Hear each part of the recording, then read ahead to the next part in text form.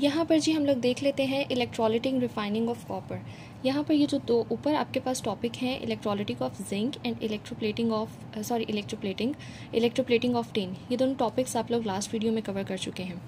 Next हमारे पास है जी electrolytic refining of copper copper को इलेक्ट्रोलिटिक सेल के अंदर हमने कैसे रिफाइन करना है?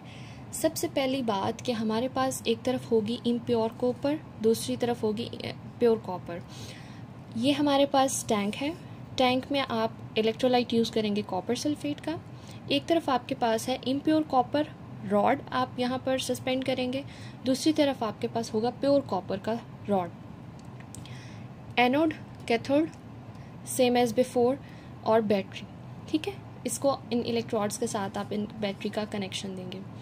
चलें जी, अब यहाँ से देख लेते हैं। Impure copper is refined by the electrolytic method in the electrolytic cell impure copper act as anode impure copper जो है वो एनोड के तौर पर काम करेगी और जो प्योर कॉपर है प्लेट उसकी जो है वो कैथोड के तौर पर काम करेगी।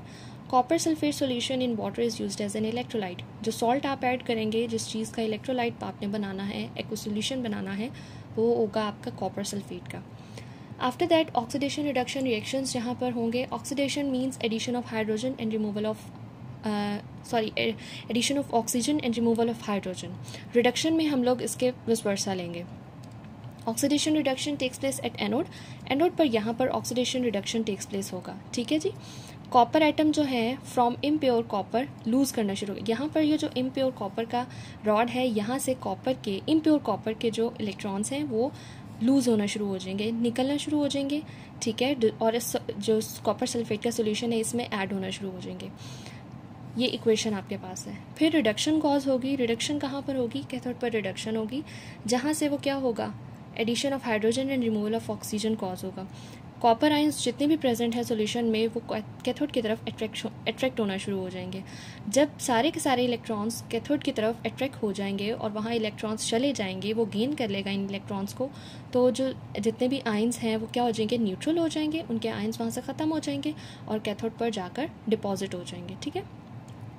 इस प्रोसेस में जो इम्प्योर कॉपर है वो सारी की सारी वहाँ से सोल्यूशन में एडअप हो जाएगी और जितने भी उसके आइंस हैं वो सारे के सारे न्यूट्रल होते होते होते होते डिपॉजिट होना शुरू हो जाएँगे कैथोड पे। तो ये आपका प्रोसीजर है इसमें भी इतनी कोई आ, मुश्किल नहीं है ठीक है? ईजी सा प्रोसीजर है डायग्राम के थ्रू बहुत अच्छे से समझ आता है। एक दफ़ा मैं दोबारा से रिपीट कर देती हूँ।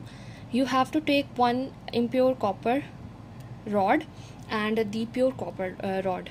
In the tank containing aqueous solution of copper sulfate one side you will have to put the anode and the other cathode and you have to connect these two electrodes with the battery after that when the electric current is going to pass through these rods the copper ions uh, are going to dissolve uh, or lose their electrons in the aqueous solution and the uh, reduction uh, reaction takes place after that the, the reduction the, all the ions are going to be neutral and deposited on the cathode that is the process इसको आप अच्छे से learn कर लें दोनों topics को आपका chapter आज ख़त्म हो चुका है नेक्स्ट हमारे कुछ टर्म्स हैं और रिव्यू एक्सरसाइजेज हैं, जो हम लोग थोड़ा सा नेक्स्ट वीडियो में डिस्कस करेंगे। टेस्ट योर सेल्फ के कुछ क्वेश्चन हैं और आपके एम हैं, जो हम नेक्स्ट वीडियो में डिस्कस करेंगे। तब तक के लिए अपना बहुत ख्याल रखिएगा। खुदाफिज़